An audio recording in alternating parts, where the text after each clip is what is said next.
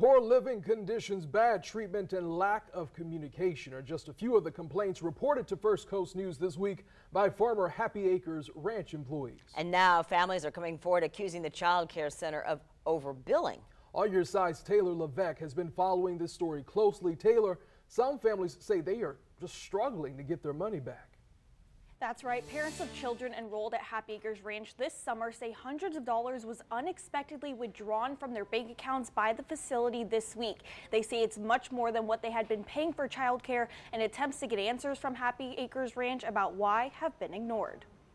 I've always encountered um, account issues with them um, and just the lack of communication, um, if there was any. Sandra, who asked not to be on camera, says her kids were students at Happy Acres Ranch until the end of June when both caught COVID 19 amid the center's outbreak.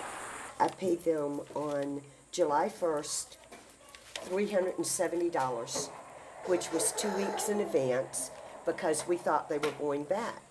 But grandmother Cindy, who helped pay for the kids to go to camp, says they never went back after arguments with staff over lost paperwork led to the family receiving a withdrawal letter from the facility. The letter says the camp feels the family treated their staff rudely. It says, Good afternoon. I'm reaching out on behalf of my staff to inform you that after this day, 713, we can no longer provide care Cindy and Sandra say since then they have repeatedly attempted to get a refund of the $370 for the weeks the kids did not attend after getting kicked out, but no luck. Whenever I asked them for the refund, that they said that I would have to go, and they sent me an email link, which was, you know, which was invalid. non-existent. It was invalid. And now they say they lost even more money this week.